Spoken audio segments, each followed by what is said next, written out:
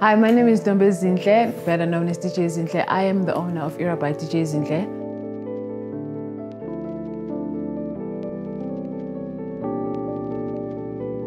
So Kairo Forbes is my daughter, and she is uh, pretty to me. All moms think their children are pretty, but Kairo is growing up around a lot of um, um, powerful women, her grandmothers, myself, my sisters. I work with a lot of women in the business era by DJ Zinhle. So she's been born into a space where women are always working. And I think she's just understood um, that part of life and she's also put herself in that space. She started working as an, influencer, and we just thought it was important for her to also work for by DJ and contribute something, start her legacy while she's still young, and teach her about the importance of business and work, which she really understands right now. So we wanted to um, bring her in, um, and we started by launching a watch for her, a Kairo watch, uh, that was followed by her sunglasses, which are doing very well.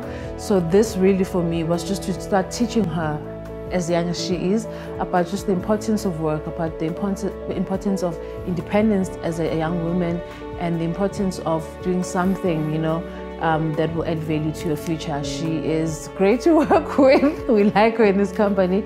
She adds a lot of value, but it's important for her to start her legacy while she's still young. My message for women would be um, to just start. If you want to get into business, if you want to do something that you've been scared to do for a long time, just start. Um, a lot of people think that maybe when you start a business or when you get into a project, you need a lot of money. Uh, capital could be your skills, it could be the time that you invest in the business. And personally, I learned from the University of Google. I went online and I learned everything that I need to learn about the businesses that I wanted to start. And I think that's a very important thing for people to learn that there's a lot of information online. You can access it anytime. And another important thing for me is to start where you are with what you have. It's important to nothing that you need large amounts of money or a big warehouse, but you just need to start where you are so that when you start small, even your mistakes become smaller. You don't want to take a big risk in the beginning. Start small and learn as much as you can. I've had businesses that have failed badly that I didn't want to talk about, but I also understood that that is the part, that's part of the process. That's part of where you learn. So learn from your mistakes, adjust, and keep going. Every step is important. So I had the option to start a brand uh, of sunglasses or uh, sneakers and a friend of mine advised that I rather maybe start a brand that sells watches because it talks, talks so much about time and the concept of time and we just dis discussed the idea of time and what it means for women especially in this era um, we spoke about um, the World Cup happening in Africa, about the evolution and women finding their power in this era. So we just thought, okay, let's call it era and use this brand to remind women of what's possible in these times. So our core product is watches, African-inspired print um, watches, and we wanted to design a watch that would communicate the vision of Africa to the world because we believe that Africa is a big conversation in the world right now, and people are excited about our color, about our diversity, and everything that we can offer as Africa. So we wanted that to be represented in our watches. Um, the range grew um, to uh, complementary products, that's what we call them um, your bracelets, your earrings, um, your necklaces.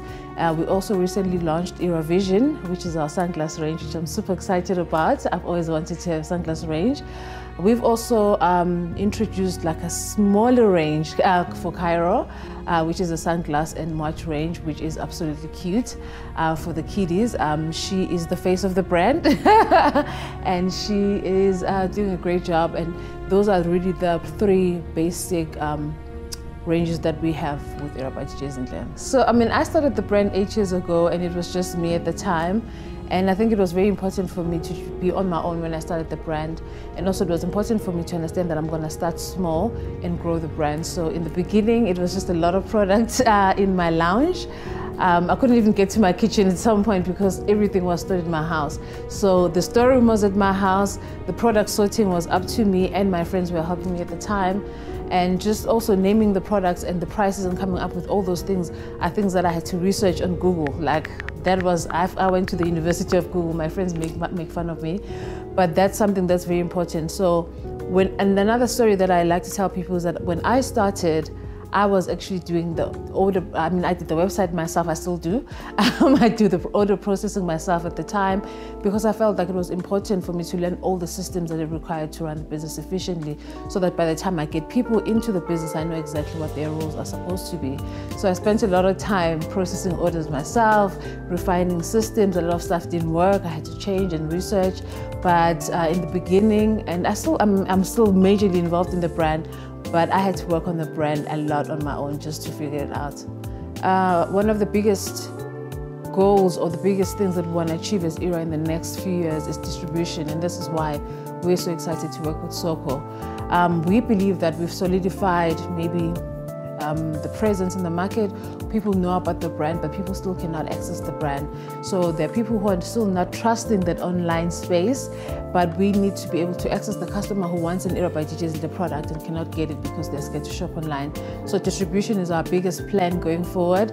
So we are praying that Soko can open more stores so that we can get more distribution. Uh, but for us, this is the most important thing right now. As an artist um, or as a DJ or as a performer, I felt like it's very important for me to diversify um, my portfolio or use my influence in other areas. I love business and I love brands and I wanted to see if it was possible for me to do something other than just be a performer. But over and above that, I was just in a position where brands were not uh, like trying to endorse me, brands were not working with me at the time. So I said, you know what, I'm going to create a brand that is going to be so fire that everyone will want to work with me. And that's how ERA started. But um, over the years, I've just realized how important that is, you know, to be able to use my influence and to be able to use all the things that I've learned in the industry and incorporate to build something that could create jobs or something that be, that be as great as ERA. And I felt like it was an important part of all the uh, all the artists' lives to just be able to tap into something else. Um, it, it, makes sense now with COVID. I mean, I haven't been able to perform really in two years, and I've had to use other businesses to make an income like ERA. So when I started ERA um, eight years ago, um, shopping online wasn't a strong point in South Africa, but I didn't have any other distribution channel other than online. Um, so social media and online were very important for my business, and they still are because that's where we started. That's where we could access the market. So, um, and I've always had this chat with my friends that the biggest challenge for me still, even though we do so well online, is distribution. You know, um, and I've had a retail store before that failed badly. It wasn't an ERA store, it was a, a, different store, but it failed and it put the fear of retail in me.